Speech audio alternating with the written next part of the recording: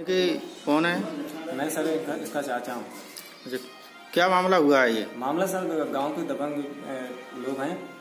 और उन्होंने जो है घूरा डालने के लिए कहा था कि घूरा डालो लॉकडाउन के चलते हम सर घर में थे। और घूरा डालने से हमने मना कर दिया।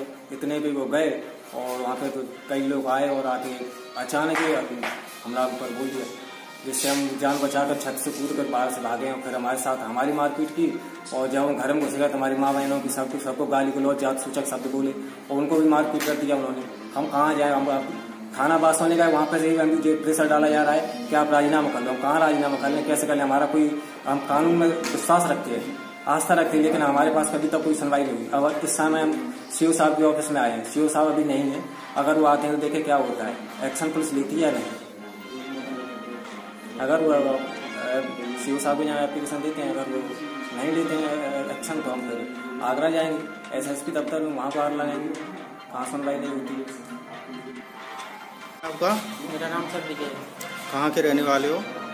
ग्राम लालपुरा है तहसील का है जिला आगरा है थाना बसम क्या मामला है आपका? हमारा मामला ये है सर कि गाँव के जो कुछ लोग हैं वो हमसे ज़बरदस्ती काम कराना चाहते हैं।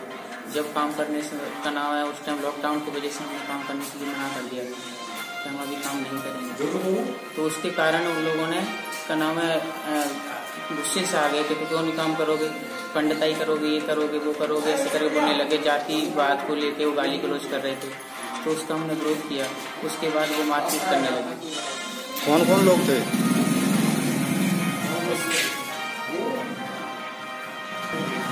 मनोज थे।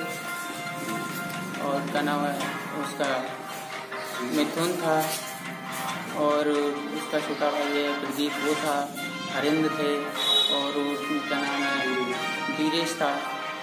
इन्होंने आपके साथ मारपीट कर दी। मारपीट की। आपने इसकी कहीं तहरीर वगैरह दी है? हाँ थाने गए थे सर वहाँ से कोई हमारी सुनवाई नहीं। क्या कह दिया उन्होंने? उन्होंने वहाँ जाके ऐसे ही लिख के और छोड़ दिया जो कि जाओ फिर आना ऐसे दो तीन दिन हो गए कुछ नहीं। अब दबाव बनाया जा रहा है कर कर कराओ और कहा क्या राजीनामा कर लो। आपने उच्च अधिकारियों को बताया? अभी तक तो नहीं बताया सर। अभी हम स्टन सी साहब के पास आए हैं। अगर वो ऑफ़िस में आते हैं तो उनसे मिलना चाहेंगे। अभी मिले नहीं आप? नहीं सर। अच्छा।